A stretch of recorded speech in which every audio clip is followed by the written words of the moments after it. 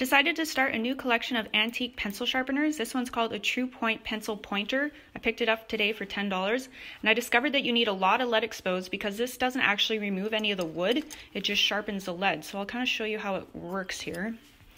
You put the pencil there and it exposes the lead underneath and then as you turn the top it rubs against this abrasive surface and sharpens the lead. So let's try that out.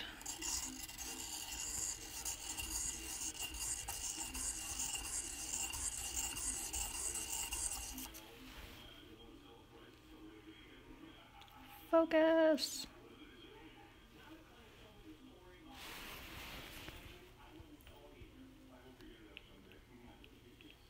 It's pretty sharp even though it's blurry.